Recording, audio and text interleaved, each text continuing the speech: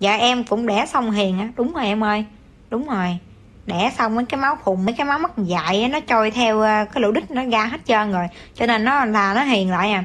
Xong cái bây giờ ha ai nói gì tới ta tôi cũng ta cũng cừ. Mà mà chồng tôi nói, trời, sao vợ tôi vậy? Đẻ xong rồi nhìn vợ tôi dễ thương quá trời tôi thương vợ tôi quá. Thiệt luôn á. Thiệt luôn á. Chồng tôi mới nói gì luôn á mấy chị. Mà thiệt nha, lúc mà em có bầu á em hỏi nó thương em không, nó không có nói. Không có nói, không có thương, không có nói gì chân á. Chắc là nó phải chịu mình nhiều lắm. Em nghĩ là chắc lúc đó chồng em chịu em nhiều lắm. Tại vì em là cái người nói xong rồi em quên. Hoặc là em nóng xong cái em em em nóng xong em nói cái rồi em quên. Em không có để trong bụng, không để trong lòng. Nhưng mà những người người ta nghe ta sẽ để trong lòng ta để bụng. Cho nên giờ nó thấy mình khác á, cái bắt đầu tự nhiên em thấy mắc cự lắm. Tối ngày chồng em nó hôn em hoài à. Nó nói trời ơi vợ tôi giờ nhìn thấy hiền hay dễ thương. Hoặc là em nghe nó nhậu quá em nghe lón thoáng á nó, nó kể với người ta.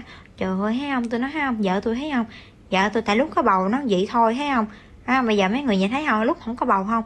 Thấy dễ thương không? Đã đẹp thấy ghê không? Đẹp thấy ghê dễ thương ghê không?